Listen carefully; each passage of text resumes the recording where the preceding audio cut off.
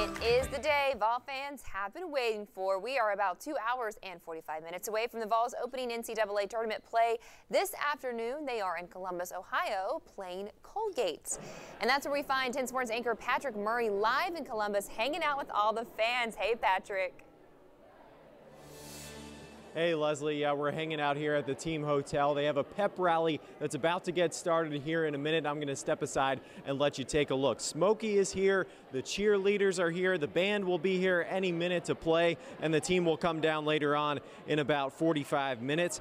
Everyone expects this team to make a deep run in the tournament, and the furthest the Vols have ever gone is the Elite Eight. Here's what they say they've got to do to top that.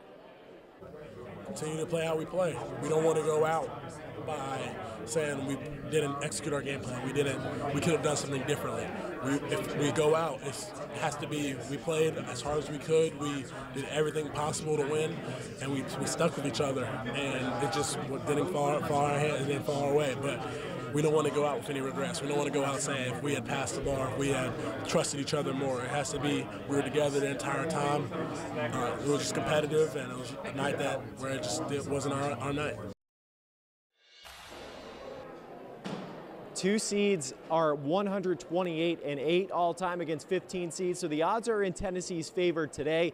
And coming up in about 10 minutes here in Columbus, the Cincinnati and Iowa game is going to get going, and then the Vols will play 30 minutes after the conclusion of that game. And if Tennessee wins today, then they'll play the winner of that Cincinnati Ohio game or Cincinnati Iowa game on Sunday. Well, we'll be back in about half an hour to check in on this pep rally, but for now, we'll send it back to you, Leslie. Patrick, thank you. Looks like some great energy there. We appreciate it.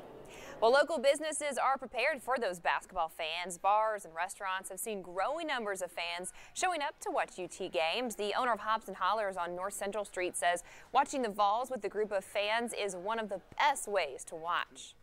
It's fun to watch a game with a bunch of fellow Tennessee fans. Being a Tennessee alum, it's always good to, to see everybody come out and just yelling at the TV and cheering and everybody here would think they're in the you think they were in the arena with the team and the team could hear them but they can't but it's just a fun atmosphere even football players are excited for the NCAA tournament. Tennessee football wishing the basketball team good luck today. They posted this video saying, one fly, we all fly. Let's go, Vol Hoops.